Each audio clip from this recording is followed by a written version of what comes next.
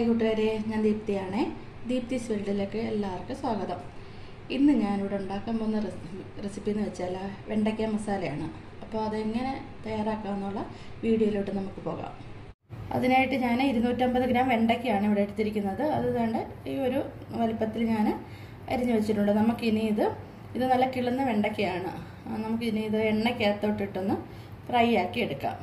ഒരു ചട്ടി അടുപ്പ് വെച്ച് കുറച്ച് എണ്ണ ഒഴിച്ചിട്ടുണ്ട്. നമുക്ക് ഇനി ഈ വെണ്ടയ്ക്ക അതിനകത്തിട്ടിട്ട് ഒന്ന്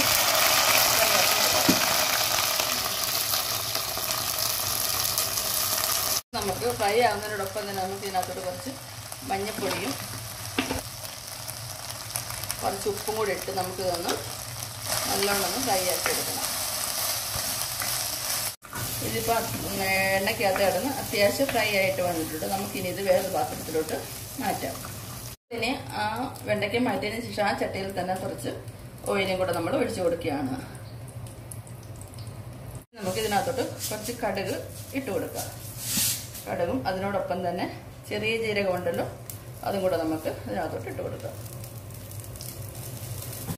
ഇതിന് ഈ കടുവെല്ലാം പൊട്ടിയതിന് ശേഷം നമുക്ക് ഇതിനകത്തോട്ട് ഒരു സവാള മൂന്ന് പച്ചമുളക് ഞാൻ എടുത്ത് വെച്ചിട്ടുണ്ട്. അതും കൂടെ നമുക്ക് ഇതിനകത്ത് ഇട്ട് കൊടുക്കാം. ഇത് എണ്ണയ്ക്കകത്ത് നമുക്കൊന്ന് വഴറ്റിയെടുക്കാം. ഇനി നമുക്ക് ഇതിനകത്തോട്ട് ഇഞ്ചി വെളുത്തുള്ളി പേസ്റ്റ് ഇവിടെ ചേർത്ത് കൊടുത്ത് നല്ലോണം ഇളക്കാം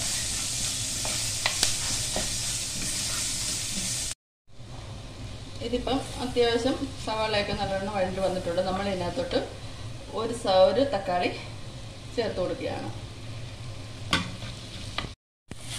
അപ്പോൾ അത്യാവശ്യം ഇതെല്ലാം തക്കാളി എല്ലാം ഇട്ട് നല്ലോണം വഴണ്ട് നമുക്ക് ഇനി ഇതിനകത്തോട്ട് പൊടിവരങ്ങൾ ചേർത്ത് കൊടുക്കാം. ഞാനൊരു രണ്ട് സ്പൂണ് മുളക് പൊടി എടുത്തിട്ടുണ്ട്. കാശ്മീരി പൗഡറാണ്.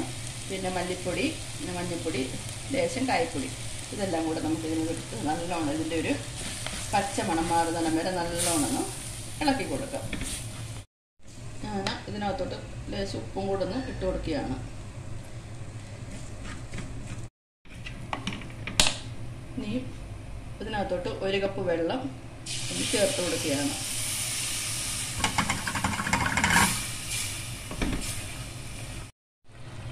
നല്ല നമ്മുടെ മസാല നല്ല തിളച്ച് സവാളയും തക്കാളിയും എല്ലാം നല്ല വെന്ത് നല്ല പരുവായിട്ട് വന്നിട്ടുണ്ട്.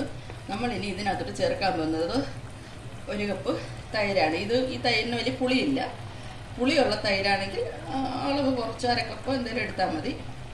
തൈരും കൂടെ ഒഴിച്ച് കുറച്ച് തീയിൽ വേണം ഇടാൻ കേട്ടോ. നല്ലോണം ഇളക്കി കൊടുക്കാം. നമ്മൾ തൈര് ഒഴിച്ചതിന് ശേഷം നമ്മൾ ഉപ്പൊന്ന് ടേസ്റ്റ് ചെയ്ത് നോക്കണേ.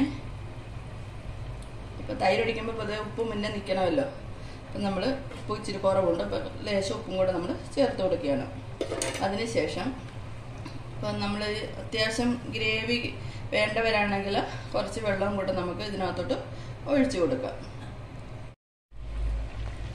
തൈര് ഒഴിച്ചതിന് ശേഷം നമ്മൾ എടുത്തു വെച്ചിരുന്ന ഫ്രൈ ആക്കി വെച്ചിരുന്ന വെണ്ടയ്ക്ക നമ്മൾ ഇതിനകത്തോട്ട് കുറച്ച് ഇട്ട് കൊടുക്കാം.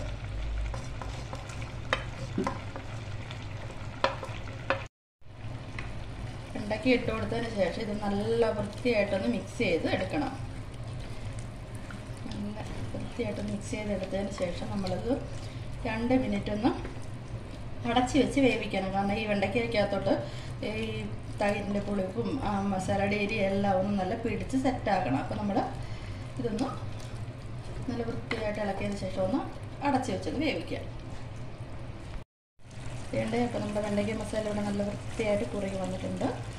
അപ്പോൾ എല്ലാവർക്കും ഈ വീഡിയോ ഇഷ്ടപ്പെടുന്ന വരുമെന്ന് ഇഷ്ടപ്പെട്ടെങ്കിൽ ദീപ്തിസ് വേർഡ് സബ്സ്ക്രൈബ് ചെയ്യുക. ബെൽ ബട്ടൺ അമർത്തുക ലൈക്ക് ചെയ്യുക സപ്പോർട്ട് ചെയ്യുക.